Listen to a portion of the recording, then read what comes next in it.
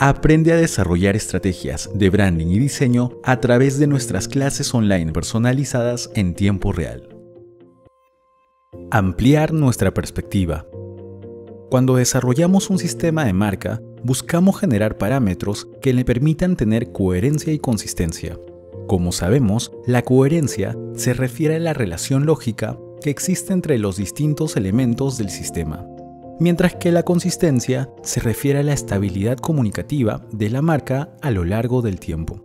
Sin embargo, muchas veces, al hablar de estos dos pilares fundamentales del branding, solemos pensar únicamente en los aspectos visuales del sistema de marca.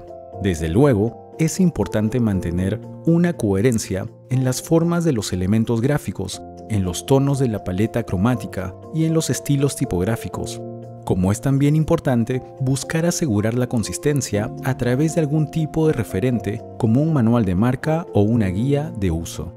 Sin embargo, ¿es suficiente esto para hablar de coherencia y consistencia? Como hemos visto anteriormente, existen diversos tipos de identidad dentro de una marca. Por lo tanto, limitarnos únicamente a los aspectos y elementos de la identidad visual significa ignorar todos los demás tipos de identidad, los cuales también forman parte de la estrategia comunicativa. Para desarrollar mejores marcas es necesario empezar por ampliar nuestra perspectiva de cómo es que éstas funcionan, así como el alcance real de la comunicación y el sistema visual. Veamos, por ejemplo, los signos de la identidad multimediática, los cuales se emplean para la comunicación de la marca en entornos digitales. Dentro de este tipo de signos tenemos todos aquellos que se utilizan en soportes de archivos virtuales. Tenemos diversos elementos, como el clima filmográfico, el estilo de animación o incluso el estilo de audio y musical. Imaginemos ahora que una marca busca desarrollar un video. Algo a tener en cuenta desde el inicio es que no solo es importante el contenido que se incluirá en él o el mensaje que se busca transmitir, el contenido del video es, sin duda, muy relevante, pero también lo es el contenedor, es decir, todos aquellos elementos del diseño y la comunicación que le darán soporte a ese mensaje, no solo ayudando a su interpretación, sino al mismo tiempo alimentando la coherencia y la consistencia de la marca para asegurar que sus atributos y conceptos sean percibidos por la audiencia. Para lograrlo, es necesario prestar atención a los diferentes detalles y elementos que compondrán los signos distintivos de la marca dentro de este video.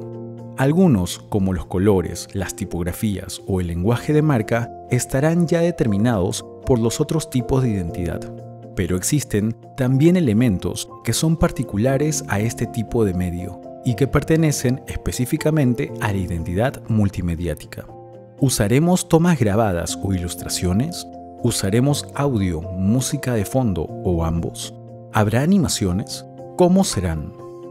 Como podemos ver, para responder a estas y otras preguntas sobre el video, no solo es necesario un análisis minucioso, sino también remitirnos a nuestro concepto de marca para determinar qué opciones funcionarán mejor no solo para comunicar el mensaje, sino también para mantener la coherencia y consistencia del sistema comunicativo de la marca.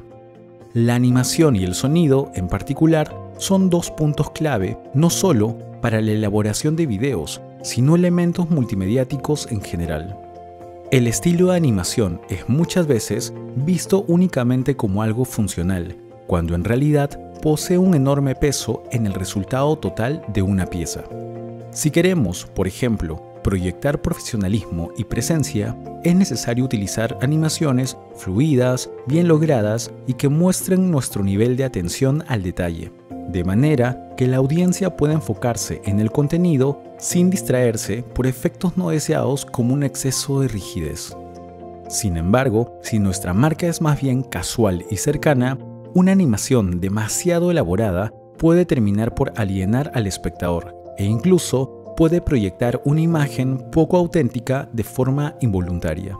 En el caso del sonido, este ha cobrado especial relevancia en los últimos años, con la proliferación de dispositivos de uso personal y de audífonos que nos permiten conectarnos a diversos medios digitales sin importar dónde nos encontremos. Hoy en día no es inusual encontrar audiólogos, tonadas breves y sencillas que son exclusivas de una marca, que la identifican y que se repiten en todas sus piezas multimediáticas. También en los videos es necesario pensar, por ejemplo, en el estilo de fondo musical que se empleará, ya que el clima y el tono de un mensaje puede cambiar drásticamente según el tipo de música que empleemos. Incluso la voz que se emplea puede hacer una gran diferencia en la manera en la que el mensaje es transmitido. ¿Nuestra marca utilizará una voz segura y firme?